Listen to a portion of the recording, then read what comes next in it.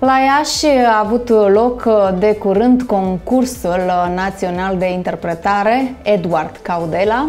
Alături de mine în această dimineață ne va vorbi uh, despre ce s-a întâmplat acolo lectorul universitar, uh, doctor, dar și unul dintre organizatorii acestui uh, concurs, Andrei Enoiu Pânzariu. Bună dimineața! Bună dimineața! Să ne spuneți ce a fost inclus în programul acestui concurs, ce scop a avut? Sigur, în această ediție, ediția 7, după cum bine ați spus, s-au prezentat studenții de la pian și de la instrumentele de suflat. De asemenea, ca în fiecare ediție, noi am avut și o secțiune specială pentru muzica de cameră. Până în ediția precedentă, respectiv ediția 6 concursul s-a desfășurat în luna noiembrie. Aceasta este prima ediție pe care o desfășurăm în luna mai. Și ediția a șaptea. A șaptea, da. Și aș putea spune că în acest an universitar au avut uh, norocul și șansa să participe toți studenții de la uh, specializările interpretare muzicală instrumente și interpretare muzicală canto. Este singurul concurs adresat uh, studenților, uh, masteranzilor, pentru că sunt foarte multe concursuri uh, organizate pentru cei cu un învățământ preuniversitar, uh, iar acesta rămâne a fi unicul. Da, așa este cel puțin la nivelul Moldovei. Este singurul concurs național destinat exclusiv studenților și masteranților. Uh, noi avem o plajă de uh, extindere mai restrânsă față de învățământul preuniversitar, pentru că centrele uh, vocaționale sunt mai puține. La nivelul învățământului preuniversitar există o multitudine de licee, școli de muzică, colegii și astfel plaja de extindere este mult mai largă, am putea spune. Cu ce ajută pe studenți, pe masteranți, participarea în astfel de concursuri? Uh, noi le-am oferit o șansă de a se urca pe scenă și nu pe orice scenă și pe scena uh, uh, sălii Eduard Caudela din Iași, unde de foarte multe ori susțin recitaluri uh, persoane cu un renume uh, european. Uh, Astfel, noi uh, selectăm, am putea spune, cei mai buni dintre cei buni, iar la final organizăm uh, gala laureaților, în cadrul căreia se uh, decernează premiul special Eduard Caudela. Am putea menționa de asemenea că laureații noștri sunt invitați să susțină recitaluri și în cadrul instituțiilor noastre partenere. Frumos! Ați avut uh, și un juriu și care au fost criteriile de selectarea participanților, cât și de premierea acestora? Uh, bineînțeles, noi nu am făcut o selectare a participanților și am făcut uh, o jurizare, am putea spune, uh-huh. sau uh, o selecție a studenților care s-au prezentat foarte frumos și meritos în cadrul concursului. Noi, ca și organizator, felicităm toți participanții și le mulțumim pentru încrederea acordată acestui concurs. A ajuns la a șaptea ediție. Ă, din ce în ce primim semnale din celelalte centre universitare că numele acestui concurs este deja cunoscut în București, în Cluj, în Timișoara, în Brașov, în Constanța, în Oradea și așa mai departe.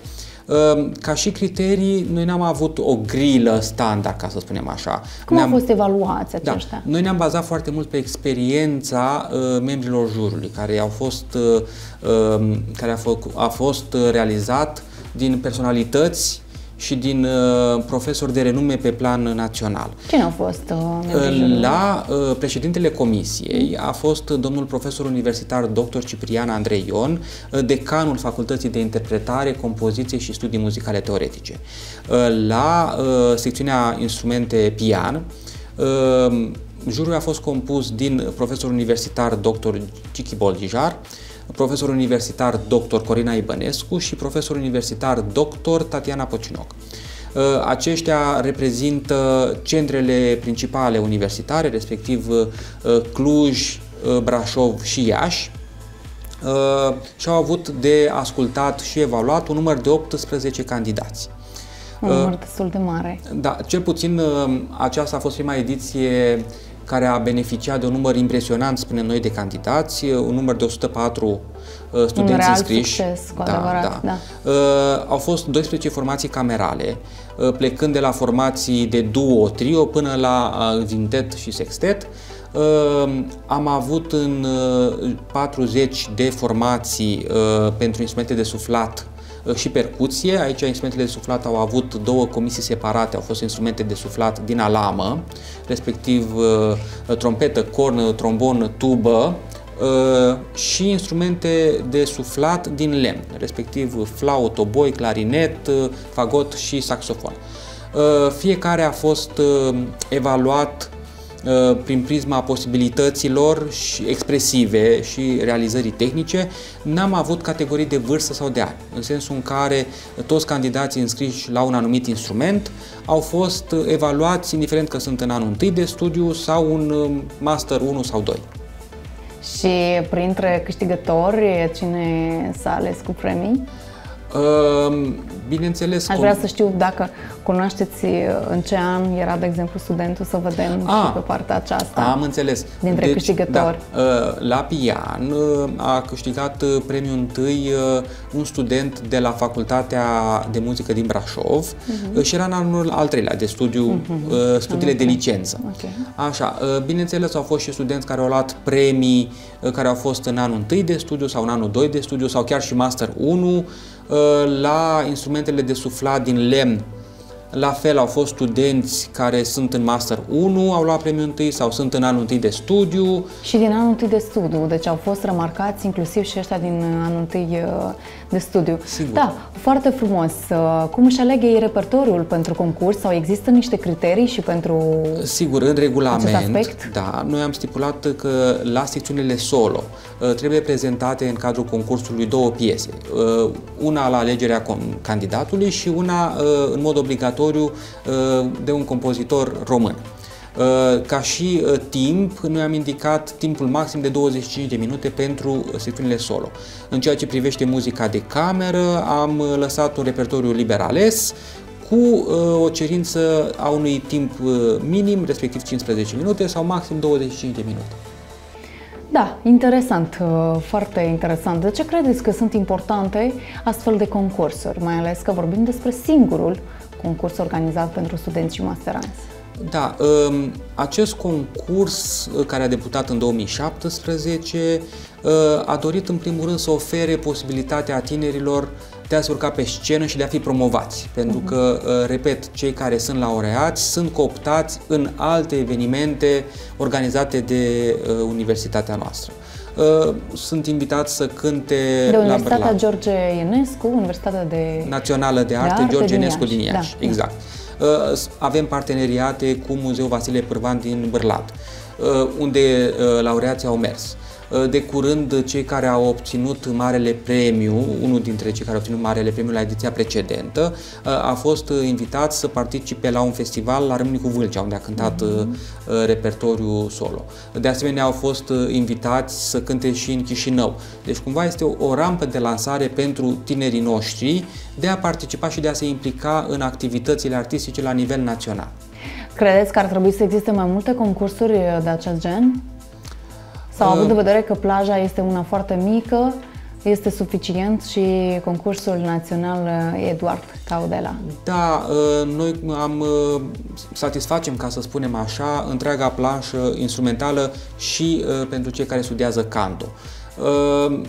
Eu consider că prin acest număr mare de acest, din acest an, respectiv 104 candidați, studenții regăsesc aici Uh, să spunem așa, uh, satisfacția lor. Uh-huh. Adică vin, se urcă pe scenă, sunt aplaudați, sunt invitați, uh, sunt promovați și atunci nu știu dacă, cel puțin la nivelul județului nostru sau al zonei noastre Moldova, satisfacem o nevoie suficient, ca să spunem așa.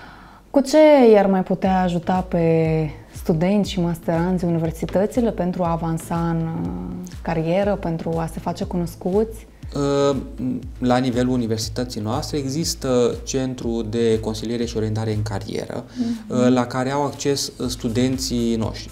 De asemenea, cel puțin de la Facultatea de Interpretare, Compoziție și Studii Muzicale Teoretice, un număr important de studenți de la secția instrumentală colaborează cu diferite filarmonici din țară. Filarmonica Moldova, Filarmonica din Botoșani, din Bacău, deci cumva chiar de pe băncile școlii, ca să spunem așa, ei sunt introduși în mediile în care în viitor își vor desfășura uh, activitatea. activitatea. Dar ce credeți dumneavoastră că s-ar putea îmbunătăți? Ce mai mult de atât se mai poate face pentru ei? Uh, momentan, noi suntem condiționați de anumite cifre de școlarizare impuse de către uh, Aracis. Uh, ca și instituție, noi dorim să, să ne dezvoltăm, dar bineînțeles este nevoie de spații suplimentare. Uh-huh. Am înțeles. Iar dacă revenim la concursul Eduard uh, Caudela, pentru că uh, vă întrebasem despre câștigători, ce premii mari au primit aceștia? Ce premii în general au primit? Premiul general. mare este unul singur, da? Da. Uh, este premiul special. Premiul special uh, așa. Noi am uh, oferit pentru premiul 1 1000 de lei, pentru premiul 2 800 de lei și pentru premiul 3 600 de lei.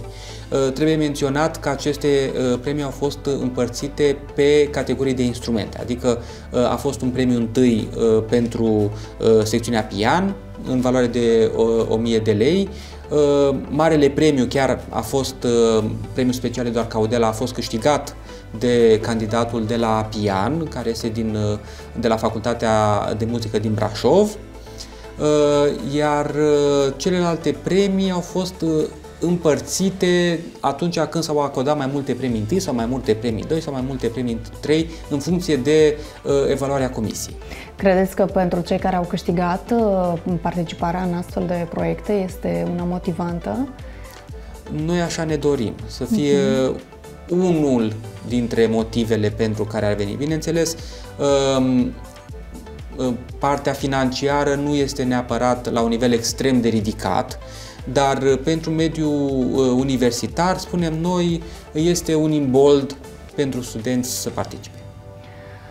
Ce planificați în viitorul uh, apropiat sau uh, ce pregătiți la ediția următoare a concursului?